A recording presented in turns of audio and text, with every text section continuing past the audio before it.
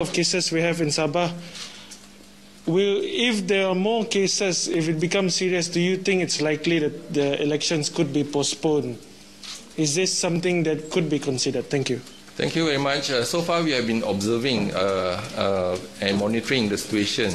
Uh, so, and we think that uh, we are able to contain, uh, to mitigate the whole situation. And more importantly, is that everyone, whether frontliners or the public, must comply to our SOP. So we believe that if you comply to SOP, then we can break the chain of the infection.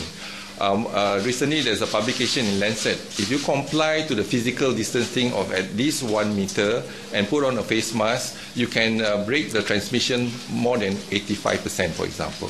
So there is something very powerful, but it must be implemented and practiced uh, at the ground. So I think this is uh, something that uh, we are monitoring closely. Uh, so and also we are monitoring the R naught. Initially, it was uh, last two weeks. Uh, R naught was actually uh, quite high, but now we managed to contain and then bring it down almost about less than one. So I think we are still following closely in terms of the situation. So election day will probably about three days ago, next three days. So we hope that we will be able to contain after the election.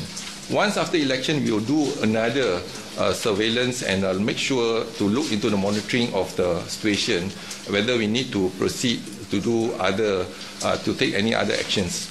So I think uh, so far uh, it, the, we, we think that is uh, from the judgment of Ministry of Health, I think uh, from our surveillance, uh, the situation is well controlled.